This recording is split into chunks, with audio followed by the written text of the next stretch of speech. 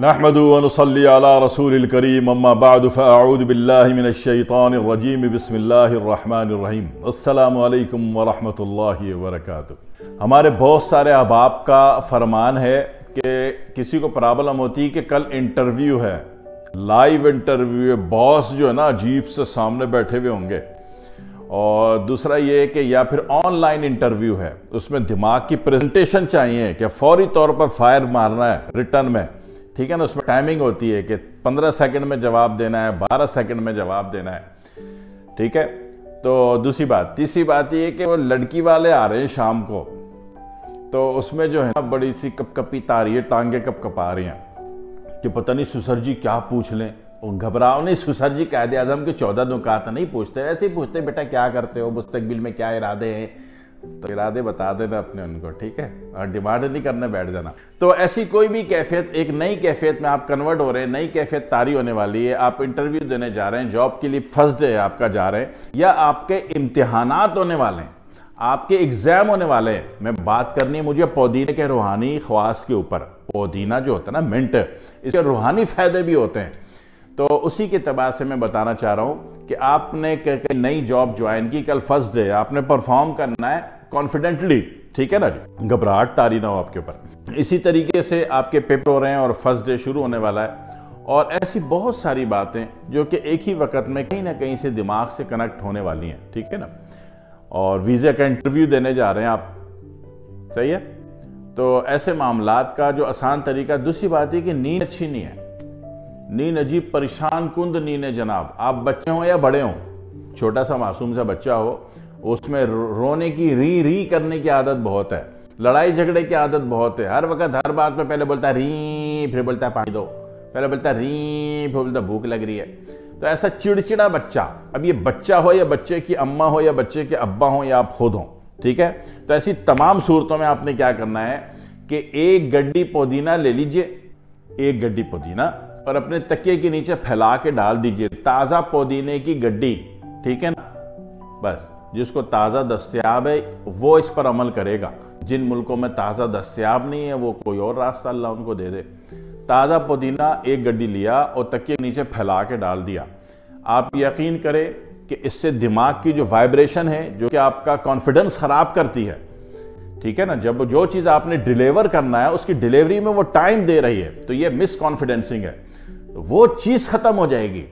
इतना बड़ा neuro frequency और दस रुपए की पुदीनी दी गड्डी। अल्लाह की कुदरत देखो। है जी? जो डिलीवर टाइम है, जो मिसिंग आता है, वो आपका खत्म हो जाएगा। आप बिल्कुल फ्रेंड जाएँगे। अच्छा दूसरी बात है कि एग्ज़ाम में आपने पढ़ा सब कुछ याद कुछ नहीं है तो कोई बात नहीं, हमारे साथ भी ऐसे ही होता था, ठीक है? लेकिन जब आपने तकिए के नीचे पुदीना रखा हुआ है, कब तक रखना है? जब तक के लास्ट पेपर ना हो जाए, जब तक के मामला फाइनल ना हो जाए, उस वक्त तक ये गड्डी पड़ी रहे, बेशक महीना लग जाए। ठीक है ना? ये इसमें कीड़े वीड़े नहीं पड़ने वाले। तकिए के नीचे फैला के रख के छोड़ दो। तो भाई साहब, आपका कॉन्फिडेंस भी क्लियर हो जाएगा, आपकी मेमोरी जो है, रूहानी स्पिरिचुअल मेमोरी आपकी एक्टिव हो जाएगी पुदीने को तकिए के नीचे रखने से। करके देख लो, दस रुपए का तो खर्चा है, महँगा तो खर्चा मैं कराता नहीं, मुश्किल में मैं डालता नहीं, ठीक है ना? तो उसमें क्या होगा कि जितना भी आपने पढ़ा है, जैसे आप एग्जामिनेशन हॉल में गए, घर से आयतल कुर्सी पढ़ के गए, वहाँ बिस्मिल्ला पढ़ के बैठी, हर किसी से सलाम से अखलाक से, पेश आके बैठ गए बिस्मिल्ला पढ़ के। अब जैसे ही आप यकीन करें कि आपका पेन टच होगा, कॉपी से आपकी स्पिरिचुअल मेंटेलिटी एक्टिव हो जाती है और यकीन करो कि आप लिखते चले जाते हो। आप लिखते चले जाते हो। याद कुछ भी नहीं था आपको, ठीक है?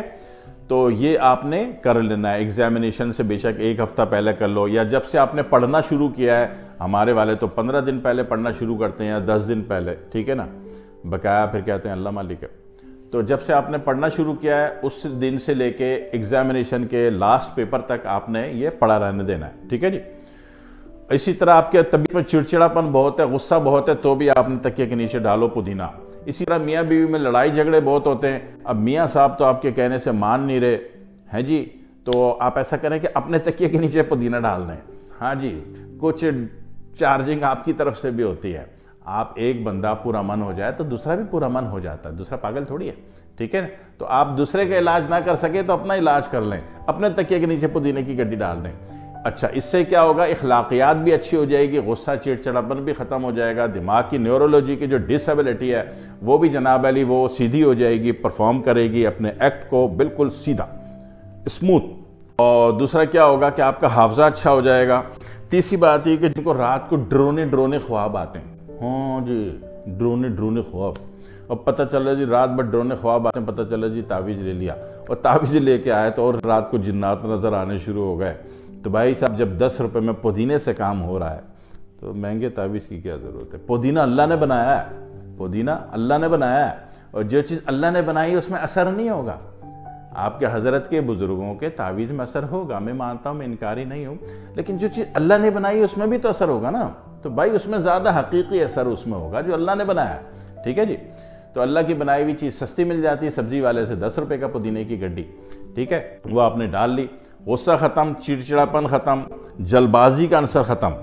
ठीक है ना? आप खाई मखम रोड पे निकल के आपको बाइक राइडर बनने का शौक हो जाता है, गाड़ियाँ मार मूर के आ जाते हैं, आपका बाप रोज़ाना पाँच सौ रुपये आपकी गाड़ी पे बाइक पे खर्चा करने पर फंस गया बेचारा।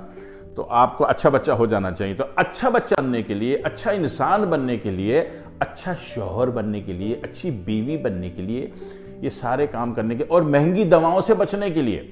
क्योंकि जब आपकी दिमाग की न्यूरोलॉजी की मेंटल एबिलिटी जो है डिसेबल हो जाएगी, और ये जनाब वाली फ्लैश कर जाएगी, और ये जनाब वाली गुस्सा, चिड़चिड़ापन को इजाफा कर देगी, आपकी सोच में, दिमाग में वाइब्रेशन कर देगी, हज़ार किस्म की दवाएँ खाने बैठ जाओगे। हाँ जी, माजी की जो बैड थिंक है, वो गले पड़ गई तो डिप्रेशन में चले गए, हैं? मुस्तबिल फोबिया हो गया, कल क्या होगा, कल क्या होगा? मुस्तबिल फोबिया उसको होता है जिसका अल्लाह ना हो, है जी? जिसका अल्लाह पर यकीन हो, उसको फ्यूचर फोबिया नहीं होना चाहिए। तो वो जनाब वाली अगर हो गया तो वो उसको एंजाइटी में चला गया। माजी वाला बैड थिंग डिप्रेशन मुस्तबिल वाला बैड थिंग कल क्या होगा? ठीक है? ये एंजाइटी और मौजूदा स्ट्रेस ठीक है? तो ये सारी चीज़ें कब नहीं होंगी? जबकि दिमाग की रूहानी फ्रिक्वेंसी मज़बूत होगी, रूहानी फ्रिक्वेंसी एक्टिव होगी। या फिर आप जनाब अली अनकरीब जो है, मेडिटेशन की क्लास करने वाले हैं। और मेडिटेशन कर रहे हैं, उसमें नज़र ही कुछ नहीं आ रहा। हाँ जी। जब मेडिटेशन करने बैठे, पता चला किसी चुड़ैल की आवाज़ आ रही है आपको। सौदा लाना है, जल्दी करो। समझ तो गए होंगे आप, ठीक है ना?